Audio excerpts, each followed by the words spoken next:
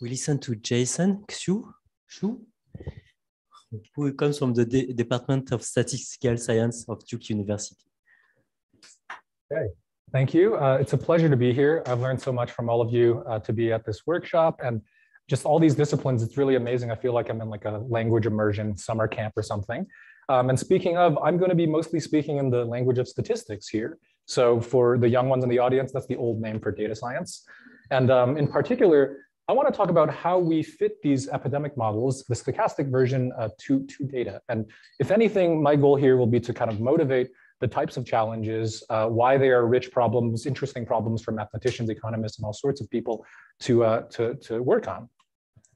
So this introduction is going to be a little redundant after so many wonderful talks today, but in many disciplines, whether we want to actually understand how a disease spreads or something similar like gossip, opinions of what on a network, it's uh, often desirable to have good models that have some features that I will uh, talk about.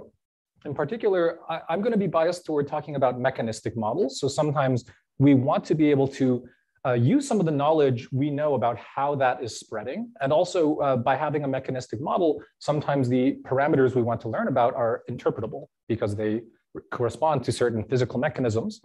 Um, an important thing that has come up a lot throughout this workshop is we would like to hopefully account for some kind of structure and or rates of context in the population.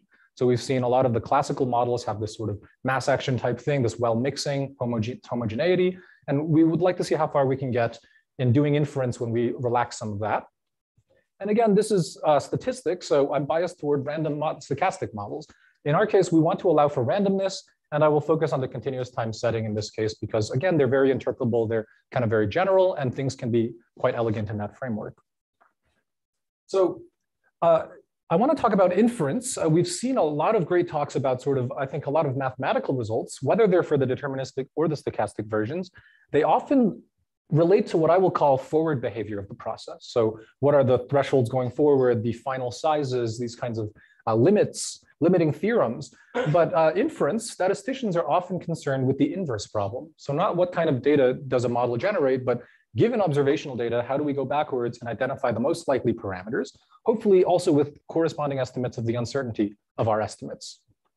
So again, my, my main goal, because it's such a diverse audience, is to kind of give a taste of the interesting and beautiful challenges that arise in considering this problem, and also understanding why it's hard even for the simplest models. And then I'll kind of give a little proof of principle in uh, how we relax these assumptions in some cases. Okay. This has also come up multiple times today, but just as a refresher, the SIR model, which is often attributed to this seminal work almost 100 years ago by Kermack and McKendrick, is a process of infection uh, that kind of treats the population by compartments uh, based on disease status. So susceptible people flow into the infectious compartment and eventually recover.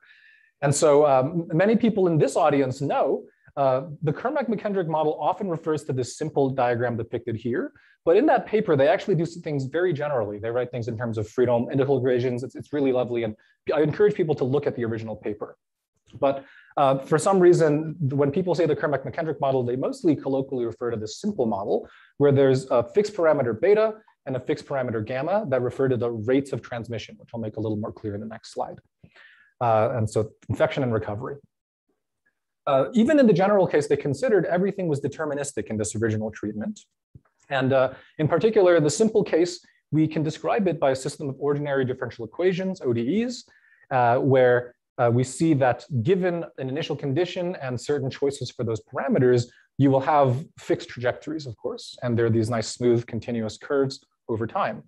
Uh, this is going to be familiar. It's related to the Lotka-Volterra dynamics or predation prey.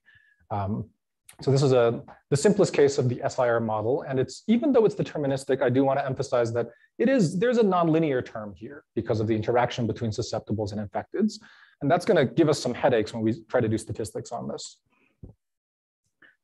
For a stochastic version of the model, we can write down things that basically look the same as those differential equations, but interpret these as instead instantaneous jump rates of a Markov jump process or continuous time Markov chain so these instantaneous rates, rather than being derivatives of a smooth function, are now um, the instantaneous rates of the probability of these discrete events happening, whether the infection occurs, which means S population decreases by one, I population increases by one, recovery event where R increases by one, I decreases by one, et cetera. And then for, for uh, completeness, we have this event rate of nothing occurring.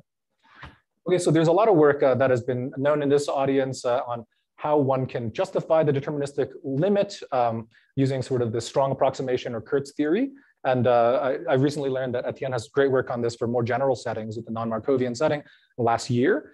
Um, but in our case, uh, this is going to evolve as a continuous time Markov chain. And just, I'm going to assume a closed population for exposition here. So let's just subtract two of the populations as the last one can be recovered by subtraction. Written as, as is, this is assuming implicitly already this random mixing uh, sort of mass action type assumption. Uh, however you want to call it in your discipline, everyone is kind of bumping into each other in a homogeneous way at a constant rate, or for instance, along a complete graph. Okay. That's how we get this beta times S times I dynamic. Okay, and in the stochastic version, of course, we no longer have necessarily fixed trajectories. If I fix beta and gamma and I simulate from the model, this is just one realization. And of course, we see it's a little bumpy because of the randomness. But I do want to say uh, the stochasticity also adds to the interpretability in, in, a lot of ways. So first of all, we've talked a lot about basic reproductive numbers. Um, in this model, it's parametrized by those, uh, by those uh, mechanistic parameters. It's sort of beta divided by gamma, and then you might have to normalize depending on the way you define the model. And when, when epidemiologists, when public health officials talk about this quantity, they say it's an average number of secondary infections, however you want to say it. But I think this notion of average makes a lot more sense in a stochastic model where things really are occurring with a probability law, right? So rather than some kind of time average that's a little bit abstracted through maybe a next generation eigenvalue. And so this is appealing. And for instance, of course, there are other terms that would we would like to naturally have a probabilistic interpretation, like the probability of a large outbreak or the probability we peak at this time, rather than having them fixed based on uh, some, some differential equations. Now, again, that was in the well mixed case. Naturally, one might be interested in eventually relaxing that well mixing assumption. And here's just a, a diagram depicting this in a simple setting. If you have five individuals, under the SIR, we are implicitly assuming that the contact structure is a complete graph, right? Anybody can, can come in contact with anyone, and in particular, an infected individual can infect any susceptible. But in practice, we might not have a complete graph, and in fact, that graph on the right might change over time. So we would like to incorporate that. And this is indeed motivated by a lot of recent data. We talk about contact trace and things like that. Uh, one of the data sets we've analyzed that I'll talk about in, in this talk, just because there's so many network-oriented people in the audience, is that uh, we might have mobile health data. In this case, it's an experimental setting. So it's not easy to come by this kind of monitoring uh, in the US, but in an experiment, this was looking at the spread of flu-like symptoms on a college campus. And so people were equipped with Bluetooth apps that are pinging when they're close enough and stop pinging when they're far away. So that's going to inform us of who is close enough to be counted as a contact over time. And we can observe how this contact changes. And in our data set, we see that it's a pretty low network density. And of course, it's changing. So it's certainly not a complete graph and it's certainly not static. And when you don't observe this, you might expect that, well, this is probably happening. So in this talk, I'll talk about one uh, approach, sort of a first attempt of ours, where we try to model the dynamics here and sort of the interplay. In particular, that contact network should impact the disease spread, of course, because you can only spread through your contacts. But your disease status might describe how you choose to interact. So even though we do not have an economic framework, uh, we do want to have your sort of formation of edge and deletion of edge rates to possibly depend on the disease statuses of the vertices. And then again, this is really focused on statistics. So you might actually think that these models are pretty simple, uh, and I agree. But in particular, we're going to try to do everything so that we have access to the likelihood function and so that we can fit the model to observe data and sort of have it have our inference be exact under the model, right? So if we believe the model, we're getting the right estimates on uncertainty properties. And again, these models are of course going to be misspecified, but it's important to know what the estimates are under your model so you can isolate where the error is coming from. So you so you have you don't do it on the complete graph anymore. You have some given network. Do you assume you know the network? Do you assume your evolution of the is it a random network? Do you want to just estimate the parameters of the random network? Is yeah. the network yeah. fixed before the so, infection so, or does it evolve while the infection yeah, these evolves? Are, these are all great questions. We'll get to them and there's going to be many slides later, but the important thing is that we in this data set are observing that network continuously, okay? And we still would like to learn its parameters, so we still jointly model it with the epidemic. Um, and that that is something that in future work, we'd like to know what, how we can impute that network or just model it uh, via some rules. And But uh, for now, we're gonna observe that network and we're gonna have missing data in the disease uh, summaries. So the network is totally it's, it's, it's observed totally, yeah. But we want to still describe, we want to posit that it was generated from a random process, which we'll see. Yes, great question.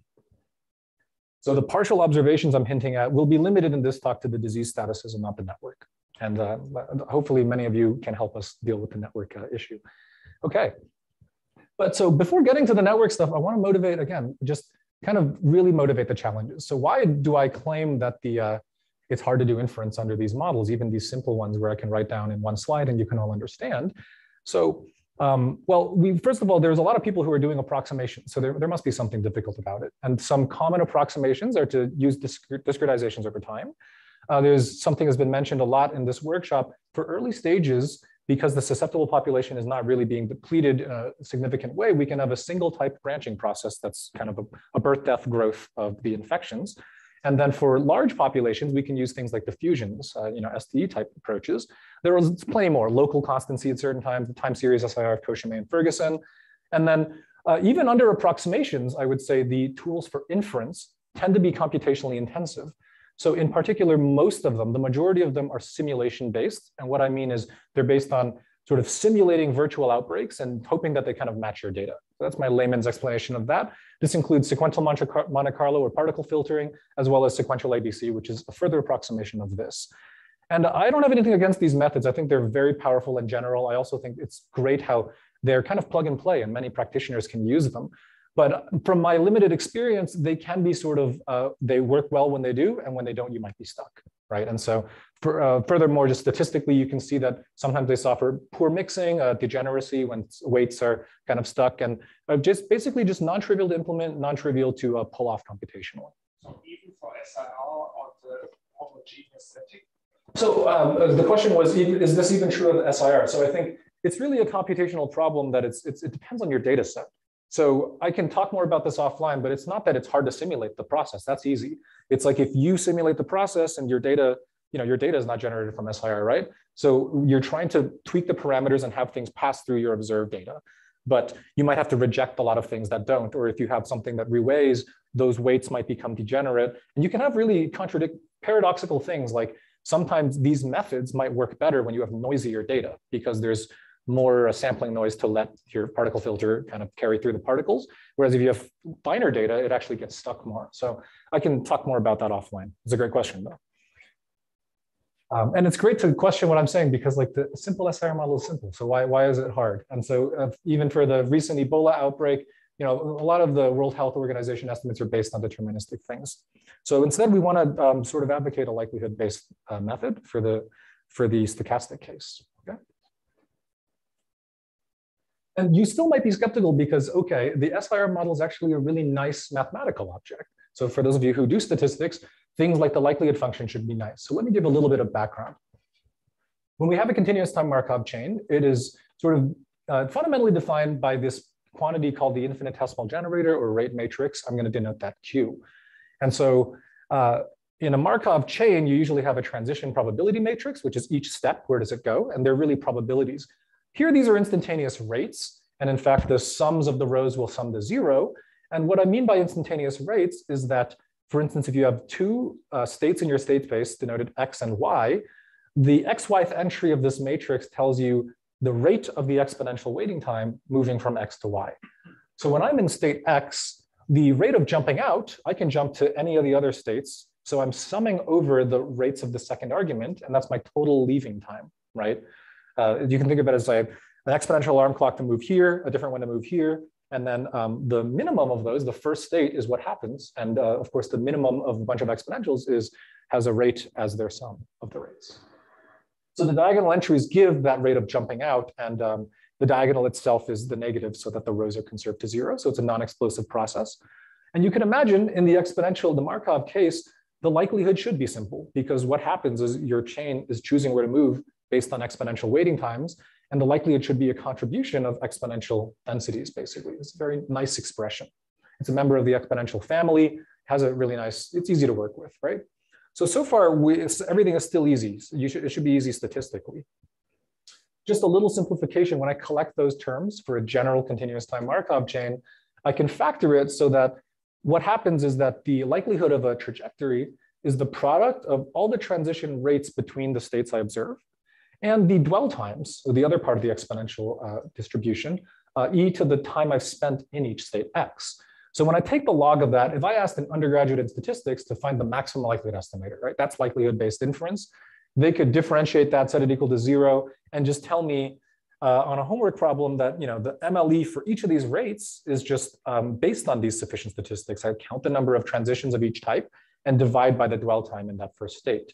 So this, and there's a theory of inference for this, there's central limit theorems. And if you want to be Bayesian, there's also really nice posterior um, conjugate relationships. You can put gamma priors on the rows of this and have really simple updates. Okay. So inference is quite nice for this class of models, and we're still in the Markov setting. So what do I mean when the inverse problem is hard under the simple models? Because the SIR model, I haven't put it into this notation, but it's, it's a case of this. So it's because of missing data, right? If we are observing, for instance, incidents, we're only observing one compartment. And also if we're observing things like, let's say daily or weekly, we're observing summaries of the possible realizations and the, the sort of complete data should cross through our observations. What do I mean by that? This is a terrible picture, I'm sorry. But like, let's say the Y are observed data of something like infections. And uh, we have uh, every week. So why not Y1 is week one, week two, week three. So the dotted line passes through those and the step function is one continuous time Markov chain trajectory, right? So you can go up and down, up and down, as long as it passes through my observed data. But then the solid line is another instance with you know, a different probability, a different likelihood that also is consistent with my observed data. So if I only have partial data, I need to base my inference uh, on the likelihood of my observations. And that should somehow be related to summing over and accounting for the probabilities of all the paths that are consistent with what I observed, right? So that problem is simply called like marginalization, right? Or integrating over the latent space. Uh, but it can be hard for models like this, okay?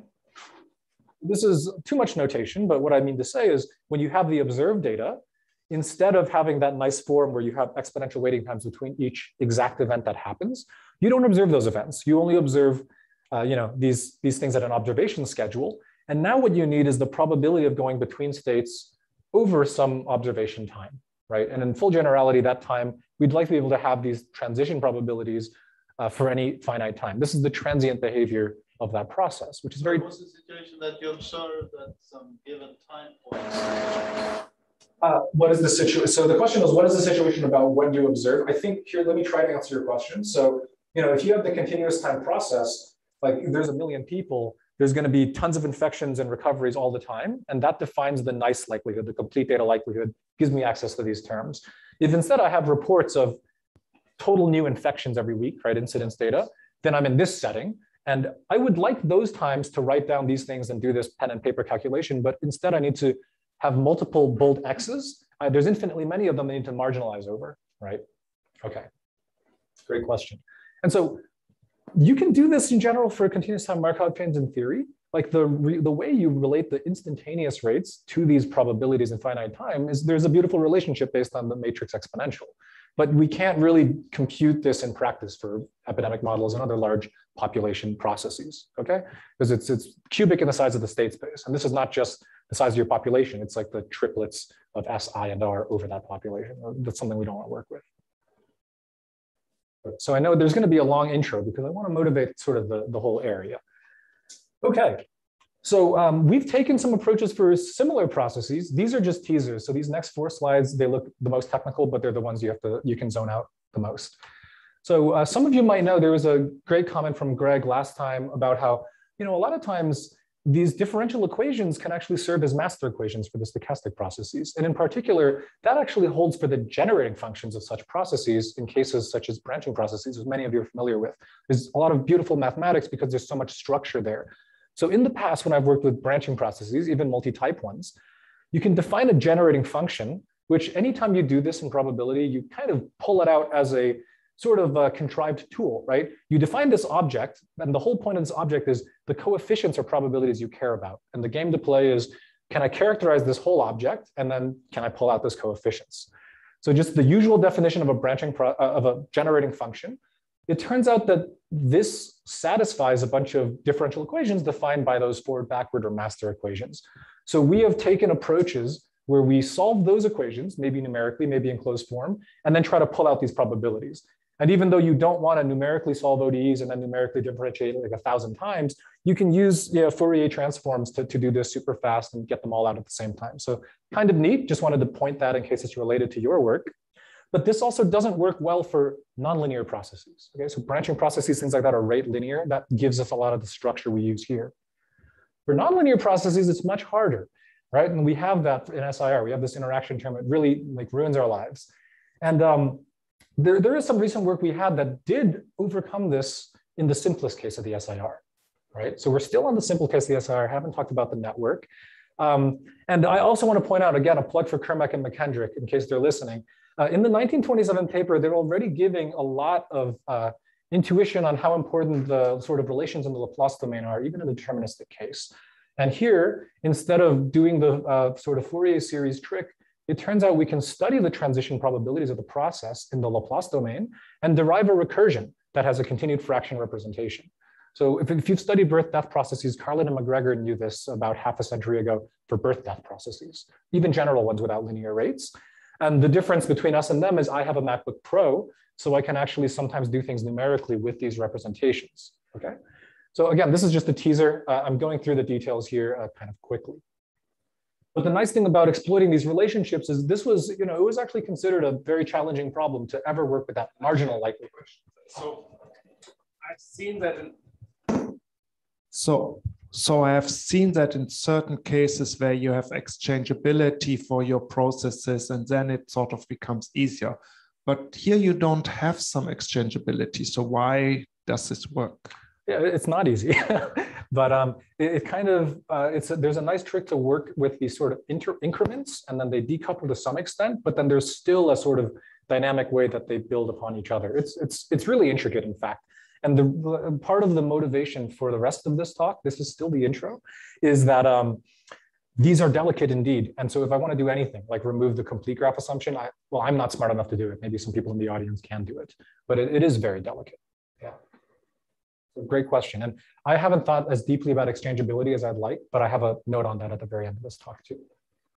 So we can do something numerical with this. We can use Abate and uh, Ward-Witz techniques to do the numerical inversion, and we can actually compute those likelihoods uh, for the marginal data and, and try to do something numerical. It's just, it doesn't, it, it's slow and it's a little bit delicate, as you can imagine, for the simplest case of the SIR, which is already very difficult.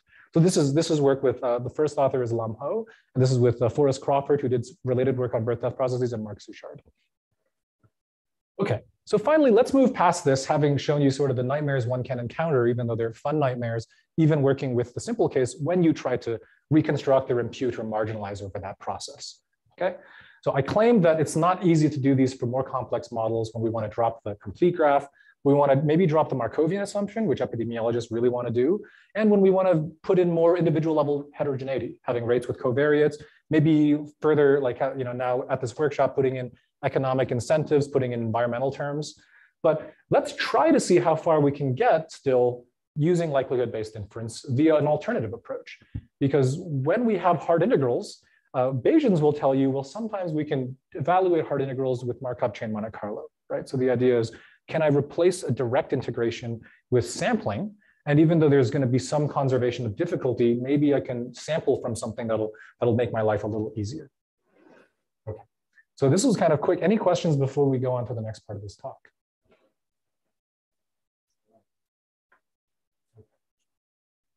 So the idea here, how do we, what is the core idea or the high level idea of changing this difficult marginalization integration to a sampling problem?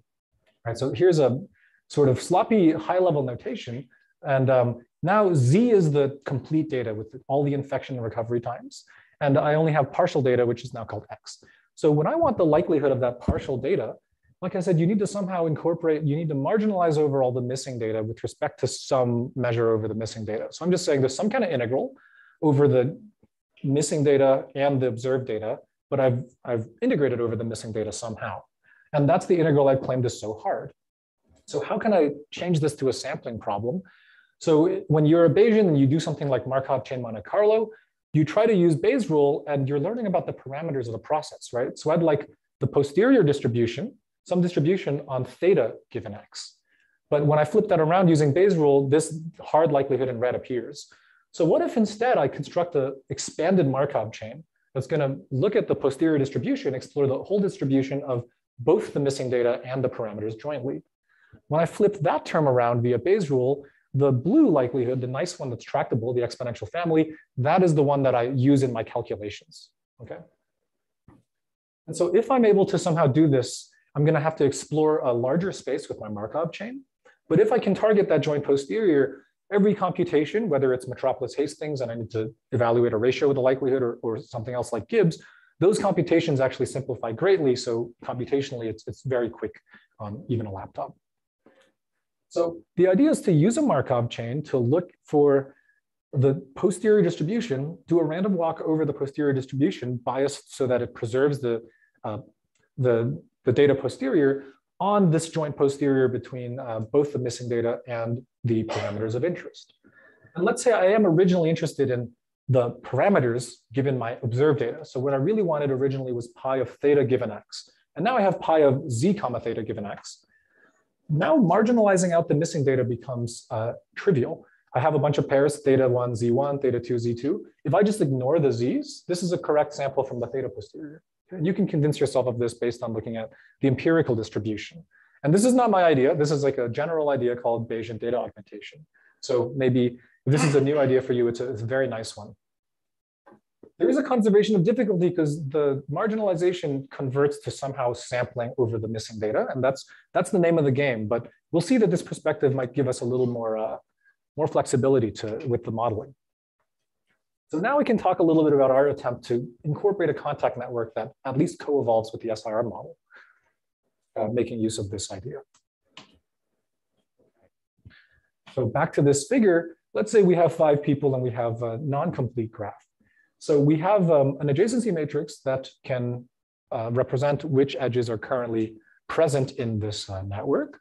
And then to allow this to be dynamic, maybe that matrix A should itself be a process, where its entries should also change over time.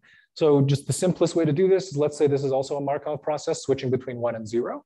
And then hopefully those rates of contact and deletion will depend on disease status. That would be nice, right? So that's that's a, that's like the minimum to, to have this uh, coupled with the network in any way. So in particular, uh, with some rate, I'm going to call the rates alpha for connection. It should depend on the disease status of the nodes, but with some rate, they will connect. And also depending on the disease status of the nodes, with some rate omega, they will break their link. Right? So these will be part of the model. And we see that at least they depend on the disease status. Simultaneously, of course, the SIR process is happening over this network. And we would like it to be just the generalization of the uh, complete graph case. So it should have the same dynamics in the sense that over an existing edge, an infectious individual infects with rate beta, right? Uh, the recovery dynamics are actually identical because that doesn't really pertain to the network. So at, at the individual level, and we've also had some remarks on, you can sort of think about agent-based or individual-based interpretations, and you can then lump them together into a population level. So at the individual level, each individual has certain neighbors and they can pass on an infection with rate beta along each edge. They recover independently. And then there's also sort of just links between potential links that are be becoming added and deleted, right? As far as the subscripts on the link rates, we're assuming that recovered and susceptibles are both sort of in a healthy class, just to reduce parameters. And then the uh, in infected and the sort of healthy, unhealthy links behave differently. So when I aggregate this at the population level, what happens? So the overall infection rate or sort of uh, population level hazard becomes a product, of course, of that rate per edge and the total number of edges between susceptible and infected. So this is actually not the best notation because this is meant to see SI of T, which is different than S of T times I of T. But if you have a complete graph, then the number of SI links is S of T times I of T. Okay, so in some sense, this is just a simple generalization of the complete data case and now, of course, recovery sums up, and we have the link activations and terminations also summing up, but needing new notation to count the number of types of pairs. So, Jason, are you assuming that you're some kind of configuration model here? So, so are these links randomly connecting? Yes. Um, so in, in this with the same probability, or, or So- what's what's the yes, about the sort of um, links here, right? There's sort of a at, at every uh, set of disease statuses, there's just certain types of links that can or can't exist, and they're happening kind of independently. I don't really know how to call that, but it certainly is not. Um, it doesn't have to do with choosing things based on degrees or anything like that. There's sort of edges in sets that are maybe separated by type, and then everything happens independently within those sets. So wait, so is this stochastic block model network model? Uh, It's not a stochastic block model, as far as I can So tell. what- what is your network? It's not configuration, it's not stuff. Uh, So I think we are confused here because some of things it is a configuration model, some things stochastic block model, but it's what's your network model? I, I'm, I'm actually terrible at all the terminology that I've just learned, but Okay, I mean, write the network on the whiteboard without terminology. Uh, yes. Um, okay. So it's the other thing is because I've seen a lot of those presented in, in the case where sort of the vertex set is not changing statuses, but in some sense, if you have, so let's say the circles are, um, are healthy and then the X's are unhealthy. Okay, so at every, at, you know, at this instant in time, because these are the disease statuses, then let's look at the number of um, potential healthy. So, so there's certain type of edge between um, healthy and not healthy, right? And so here is a set of uh, of all of those. Oh, sorry, this is not this is not one. So yeah, there's another. Okay, so there's something. Maybe there's more. And so some of these are currently disconnected, and some of these are currently connected. Okay, because there's you know there's a process for the adjacency matrices, and then so how Oh, but this process has nothing to do with the underlying network. It has to do with your data augmentation to simulate. You're still inferring on the complete graph. I guess you can think of it as there's an under, yeah, so the, so this is something that I don't know how to clarify, but in some sense, our model doesn't have any structure in terms of social structure, right? This is why I say it's not like a stochastic block model. There's an sort of a, there's a pretend, the network is still complete, but there's are edges and being deleted and added back in this, in certain rates. So I don't know what I would call that. And what I'm trying to say here is if the solid uh, edges are currently there, then you know there's exponential waiting times for when this will be deleted and this will be deleted, uh, and and similarly competing with when these will be added, and those times depend on the current disease status of the nodes, right? And then, but these things are also competing in the same jumbled up uh, set of exponential times. And then the moment this one, for instance, recovers, then the rate this edge will be deleted changes as well. Yeah, and they're kind of getting they're switching on and off, but the set of potential edges is complete, and the rates of when they're being added and removed depend on the current disease status. So I can think of it some behavioral model. If I know my friend is sick, I may drop the edge at some probability Yes. or I I would say- randomly add them. And Yes. So I don't know the name for it, but exactly that. But in some sense, you're giving me a little too much credit because there's no friends here, right? It's like you still have, yes, but your Oh, behavior I currently have friend. Currently, these two nodes here have an edge, so they're friends. Yeah, And okay, perfect, With some yes. probability, you drop that either just even if both are healthy, but if both are sick, maybe if they have some different rate. If one is sick, one's healthy, you still have a different rate. yes, absolutely. So you have some kind of dynamic network model which doesn't have an underlying structure. There's no underlying be- structure. Exactly. And that's important. That's something I'd like to. Model.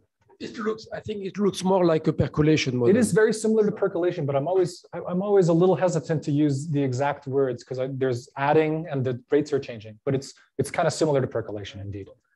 But it also sounds like you are assuming that these are exponential times. So, so this Yes, is a I know. still a Markov model Absolutely. on, yeah. on some kind of augmented space Mhm. when you have the, the, the edges now that are being uh, added or removed, right? yeah. So everything is Markov for now. And what do you want to learn? Good question. So um, the question was, what do you want to learn? So I want to learn the beta and gamma, which will be modulated by the fact that the network is changing. But one can also estimate um, the network rates, of course. If you're interested in the probabilities of disconnecting when you're healthy versus not, you can learn something from that. I will say again, because the network is completely observed in our case, it's a little bit contrived to learn the network rates in the full uh, full method I will present because you could have learned them separately just from the network because it's fully observed. Okay, you could have like conditioned on that, but that's more subtle point. The thing is, epidemiologists might think of this as making the model more realistic in order to estimate beta and gamma effectively, but one can also you know, learn and interpret the link rates. But wait, even this is super confusing to me because your network actually is coupled to the state of the disease. So I could actually could not tell me at all who is infected and susceptible because now I could sort of possibly, since the network is completely known, I can sort of see by the frequency at which edges switch whether it's an edge between susceptible. So you get partial information from just seeing the network without even knowing the disease status.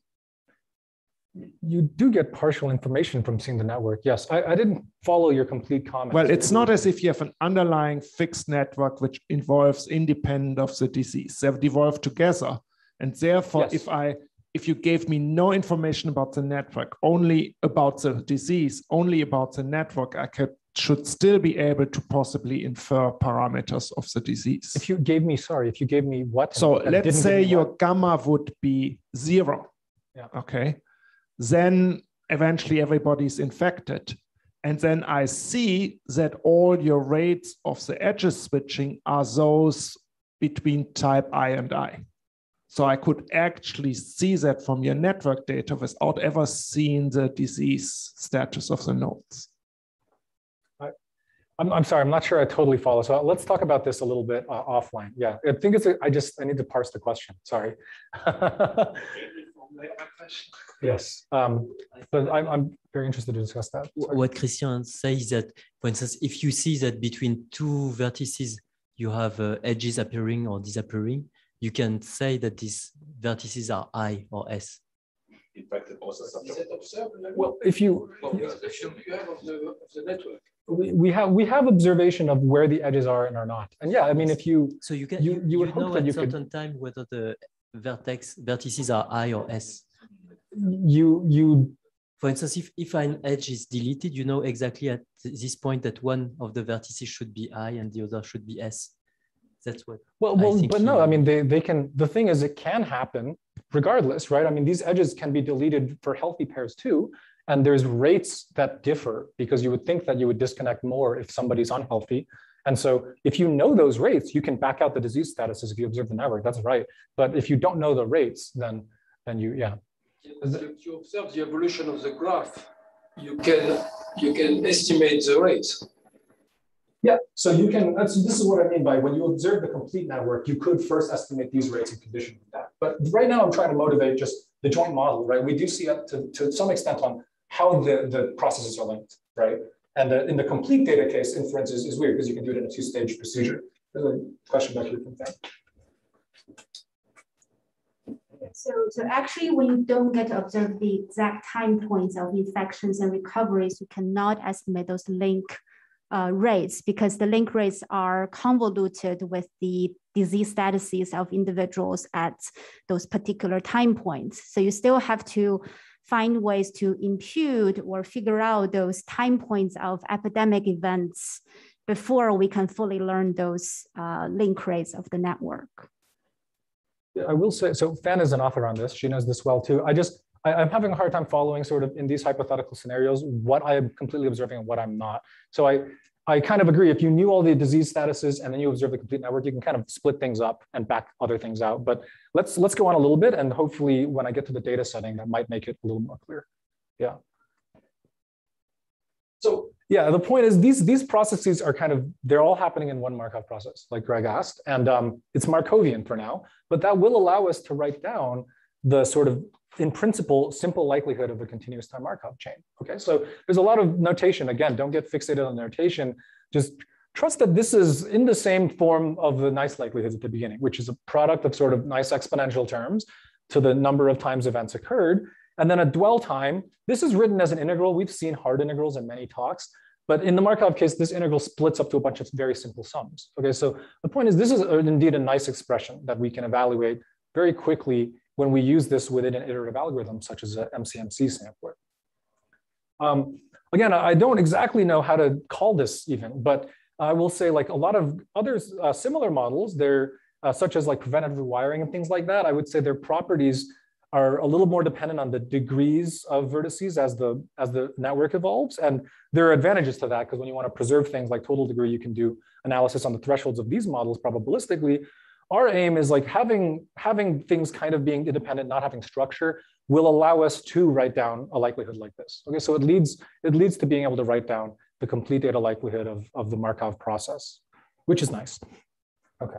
So we would hopefully like to leverage this even though we're not observing everything. We are observing the whole network, but we're not observing everything. And again, the MLEs and the conjugate relationships, like I said, also go through. You don't need to worry about the form. The point is these are closed forms that you can implement in R in like basically one line each. When you have those, we can sort of validate the model. Uh, you know, if you simulate the complete data and observe the complete data, you can see the sort of an empirical consistency as you observe more events of those estimates, kind of just validating the form of that likelihood and the derivation of this model. Again, we're, we're interested in a partially observed case. Here's another plot of the same phenomenon. If I have things like incidence data, I have the number of new infections. If I see four infections in a week, you know, my trajectory could look like that, or it could look like this. And it depends on the number of recoveries, depends on the initial size, and we don't know all those things. In our case, I'm going to focus on uh, the setting where we don't know the recovery times, kind of like this is trying to show. And of course, by not knowing the recovery times, we don't even know the number of recoveries per observation interval. So that, that's the nature of the data set that we're motivated by in this case. We have weekly data, and over each week, we have these health status reports that will, for instance, tell us about the number of new recoveries summarized over the week, but we don't have those event times that give us access to the nice likelihood. And so um, again, because of the Bluetooth app, we're saying that we do know the times of social creation, uh, link creation and deletion, okay? But we, we're not observing all the disease statuses of those, of those people, which will depend on the latent variables here, right? Because if certain number of recoveries happen in this week, your I and S population depends on that. So that, that kind of, we, we don't actually know the disease statuses all the time, even though we observe what links are between people. If that, if that helps, I, again, I didn't follow exactly what was unknown in your question, but I hope this helps. So the observed data is basically missing the recoveries in this case. And at the very end of the talk, I'll talk a little bit about um, uh, missing infection times as well. So how does data augmented MCMC look? Uh, you know, I've mentioned that we're trying to somehow introduce the latent variables for the missing data and explore both of them in Markov chain Monte Carlo. Uh, in this case, we we do this kind of alternating scheme where we first propose either the values of the missing data and accept reject, or we can sample them directly if we can get our hands on the conditional distribution. And then conditional on the complete data, we have access to that nice likelihood, and we can do things like Gibbs sampling in our case, which just means we have the closed form distribution for the parameters and how to update them okay, for the Markov chain. I realize if you don't know Markov chain Monte Carlo, I'm assuming a lot here, but uh, I'm happy to uh, talk more at length after, after the presentation. So as you might guess, step one is the hard part, right? We're data augmenting, uh, we're kind of proposing things, and we need this to respect the observed data. So like the figure I've showed you, you might think that's hard. It was hard to integrate over those, and it's, it's notoriously difficult also sometimes for large processes to do conditional simulation. Uh, so that is have a realization from the model, but also have it fixed to pass through your observations. And in particular, that's further complicated by the fact that, well, we observe the contact network, which is great, but that imposes further constraints because uh, even though these edges are kind of behaving independently, they don't know about structure. You know, if you particularly let this person recover, and then that's this person's only neighbor, and this person needs to get infected later. Sorry, if this person's infectious and this person needs to get infected later, we can't let this person recover at a certain time, right? So the contact network is constraining us even more. But that structure can also help the Markov chain mix, which is a subtle note we can talk about uh, offline.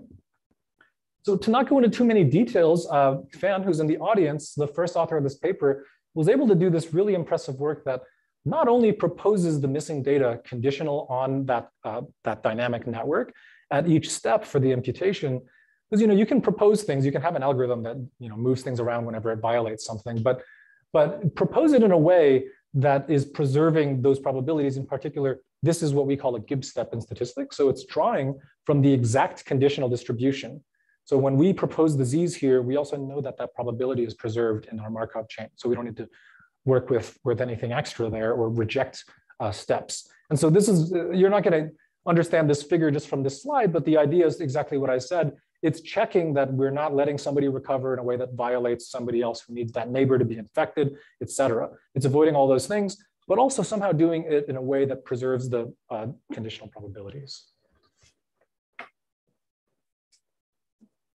So I, I, so essentially this data augmentation step, you say you essentially do rejection sampling, right?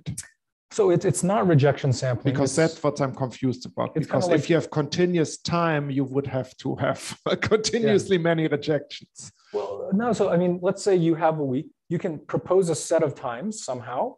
And then um, if those are in violation of something, you might have to move some things around, right? And then maybe when you move some things around to avoid having to reject it, you would think that might change, you know, now it's a different sample and you might violate. Yes, so don't you get biases from that? Yeah, well, this was done in a careful way where you can show that this is actually, the way that this is done is a conditional draw. So that, that's the cool part, yeah.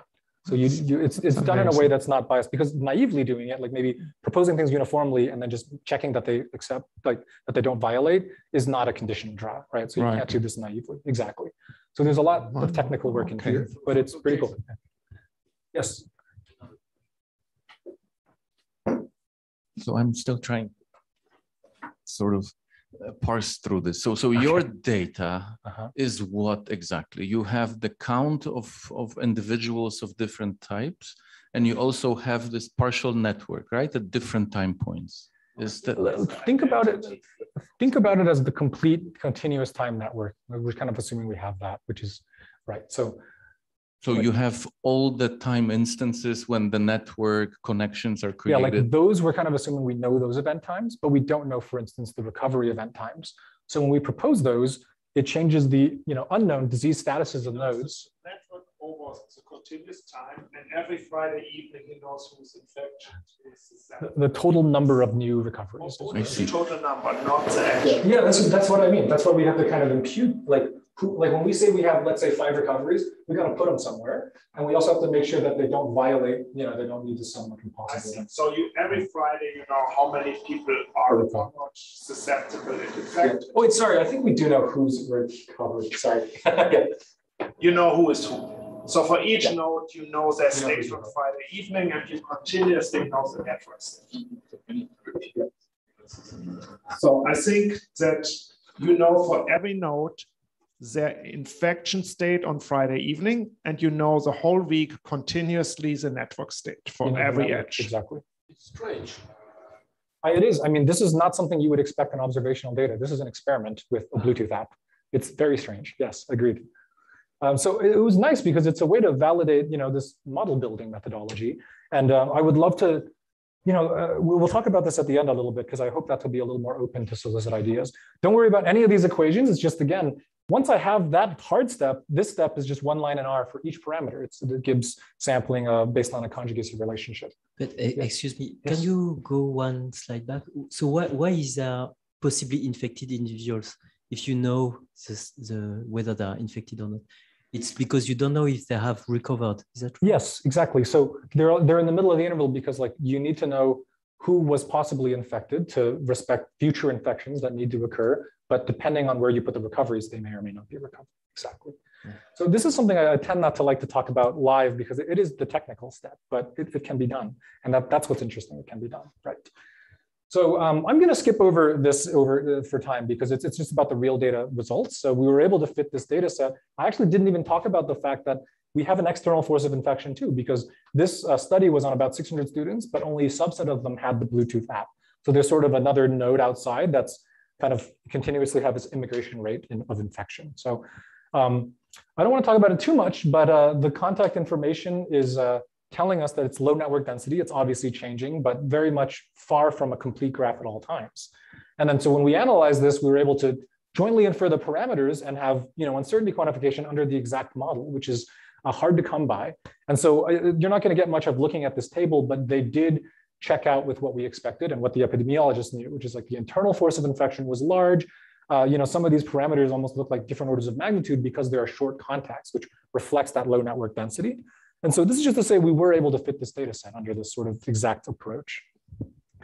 Um, I want to talk about a couple other things in my last few minutes. So let's just discuss this uh, initial attempt first. We do have a generative model that at least has some kind of interplay between the epidemic and network process. As you see, this is a this is a naive network model, but is able to capture that codependence, which is nice. It is fully stochastic. Again, this is still Markovian, and we're able to really do likelihood-based inference. So this is uh, that's new in many respects. a lot of discussions already touched on this because a lot of bright people in the audience, right? So it is not natural in observational data to completely observe a contact network. And so instead, the other thing is not everything always has to be stochastic. I will even admit that. So if you have really good deterministic rule-based, for instance, models for the network, you have an initial network and you know, you say people will start interacting again after a certain time, or you have a policy that mandates that, then that can you know, fill in for the unobserved network data when you don't observe it, but still have that be part of the model. Um, I would love to combine this with, you know, for instance, even beyond that, but like an actual uh, rational economic framework, probably myopic decision making to make it tractable. And um, this has been touched on too when we were talking about what this model is. When you have a certain set of disease statuses, the edges are happening based on your friends, as Christian put it, but those friends are not based on a priori friendship groups or anything like that. And we do wonder, you know, per class, per like healthy, healthy, infectious, infectious, or healthy, infectious, there's different rates. And within that class, they're kind of independent, like Greg was asking. But can we relax independence to something else like exchangeability or something? I haven't thought deeply about that, but maybe some, um, some experts in the audience can think about what can be relaxed in a way that still maintains tractability. Yes. And then uh, just a little bit of teasers again at the end. Uh, there are ways to try to extend this to harder missing data settings, such as uh, when infection times are also not known. So we don't know any of the infection or recovery times. So far, this work is without the network. But uh, the way that we've been doing this is actually allows general non-exponential any non-exponential recovery distributions um, in, in this particular way of data augmentation.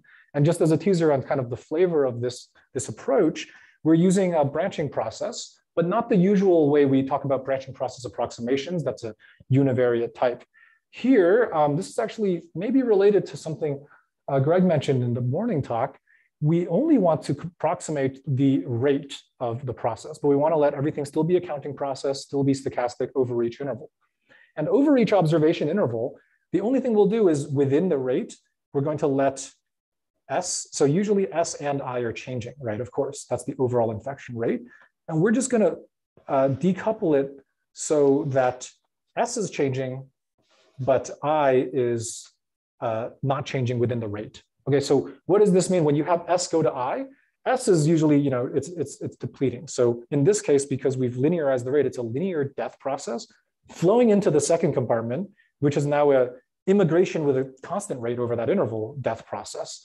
And so this becomes very tractable but it, it resembles the SIR rates very closely.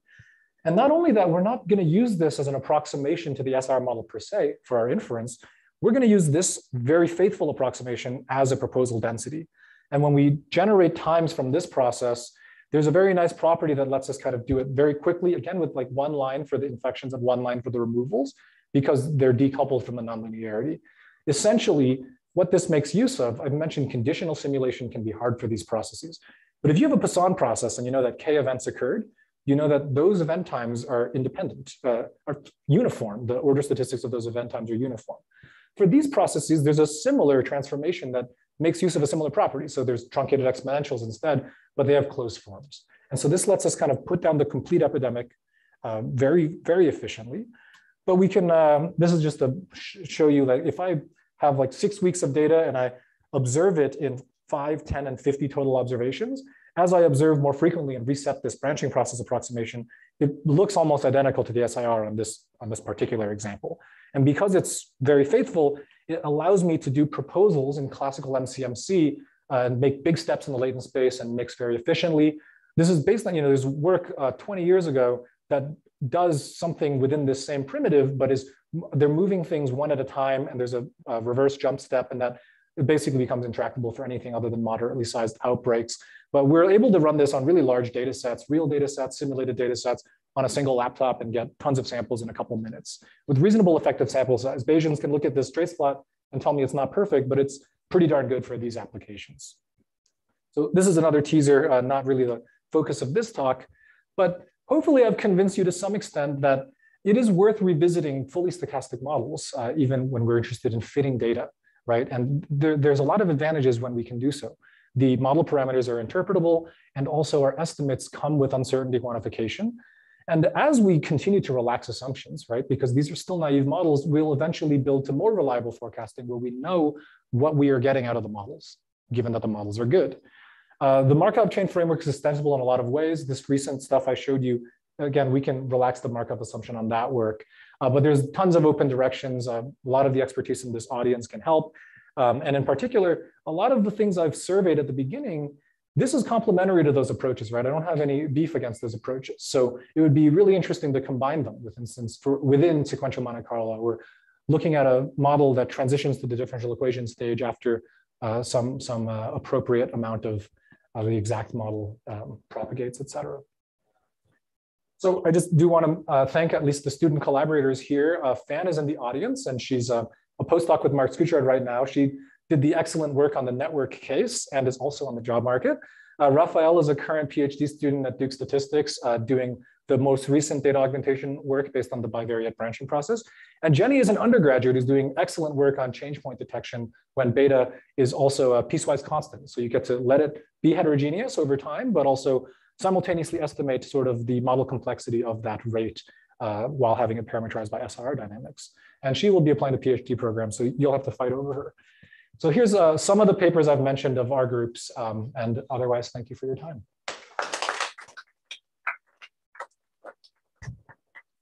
Yes, do you, do you have questions? Yes. I am a bit surprised that you don't uh, renormalize S by N. hmm. Because, I mean, you expect the number of uh, infections per unit time to be proportional to the number of infectious individuals, but not to the number of susceptible individuals. and why, okay, okay, but why is it important? Because uh, when you, uh, in, one of the last uh, slides, when you, uh, yes, this one why don't, I mean, if you would divide S by N, then what changes more slowly is S divided by N rather than I. So therefore, uh, why not uh, keep S divided by N constant, I mean, on the time, on this uh, time interval, and have the I changing. You see what I mean? Uh, uh, kind of. I mean, uh, my initial reaction before you said let Okay, so first of all, yes, you can do this. You, I think you can decide which one you want fixed. Right? Yes, because you linearize either the S equation or the I equation. Exactly. Um, and I think we. it's more nature. I mean, typically, typically S should be divided by N. So then you should really normalize, uh, yeah. linearize the I equation. Uh, the, the, the, one I thing I don't understand, like when you say typically it's divided by N, I see that a lot, but I, I don't know that's up to me here because I'm just working with the actual counts, you know? And so I agree that this approximation whether it's good or not, it depends on the relative number of events in that time interval. And so I, I don't know what it would mean to divide S by N here. Um, well, because each in each in each infectious in, I mean, encounters in other individuals at a certain rate, which is given by beta, and then that encounter will produce an infection if the encountered individual is susceptible, which is uh, which happens with probability S of t divided by n. Yes. I mean, then you can have another parameter, but uh, yeah, I mean, the uh, the interpretation of beta would of course change. I'm not sure. I, so I'm not sure about the normalization with n, but I certainly think, regardless, you you might be right. It might be more natural to have s be the constant part, and I should think about that. Yes, that's a great idea. Thank you.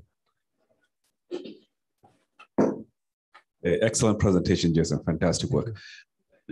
Yeah, I'm following up on the same. So epidemiologically speaking, what it means uh, when you divide by n. So this one is mass action instance, which essentially means yeah. your uh, your your contact rate actually scales the total population if you look mm-hmm. at the formulation of epidemic model. Uh, but if you divide by n, is standard incidence, it means basically a constant contact rate is constant regardless of where you are. So if you are someone in the I class, you know, so you're transmitting at rate beta, but you're transmitting only to the proportion of the population that are currently susceptible. So that's why you have S of t divided by N of t. Got it, got it, got it, got it. Yeah, that's that's the idea. So, ah. so it's a distinction between mass action incidence and the standard and incidence. Standard mass action yeah, means, yeah, yeah, yeah, So mass action means basically you, your contact okay. rate is uh, scaling with total population. It's a proportional. But, but you're right. That, that might actually do better when, when you have more events. Yeah. Interesting. Thank you. Thank you both.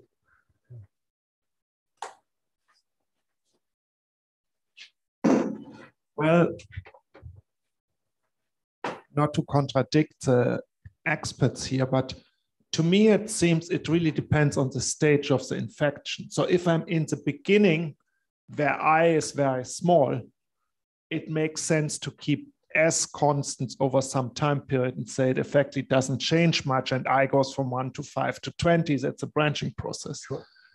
But once you get into the time where he sort of has a lot of infected, you could probably do either. Is my guess. And, and one can and probably choose. in that range, you you. could also do what Greg did, that you uh, just replace one of them by the integral.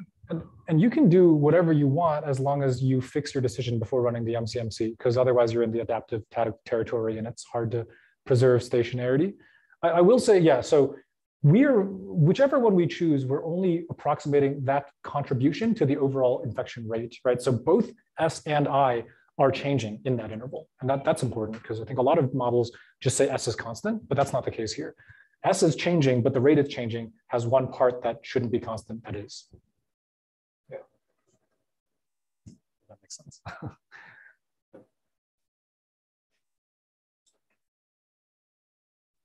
question as well, but maybe it's because it went a bit fast. So um, when uh, you know exactly the time at which people are infected, so I agree with you that you have a natural propo proposal law, but then you say um, at some point you don't know anymore uh, whether the people are infected or not. And for me, thi- this um, this increases a lot the dimension of uh, of the un unexplored space. And and I and do you have a like um, facts that tells you that your proposal is good or Yeah, so this is a great question. So first of all, in the network case, you're right. We assume we knew the infections, and then I moved to the case where we don't for this. I don't know how to do this in the network case yet, but as far as whether the proposals are good, we can, we mostly empirically verified that this process is close. And of course, we can we can do studies on, I mean, it agrees as the time interval gets small. So that, that's an easy thing to prove. Ah, okay, I, I- I miss this. In fact, you don't know how to do it on networks. We don't know how to do that on networks. Okay. No, yeah, I don't, yeah. Is there other question? Are there other questions? So Okay. uh, let's thank the speaker again. Thank you.